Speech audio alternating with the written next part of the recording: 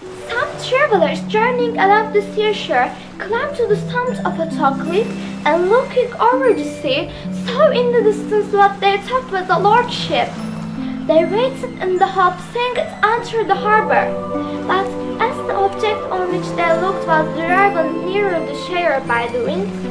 they thought that it could at the most be a small boat and not a ship. When, however, it reached the beach, they that it was only a faggot of sticks,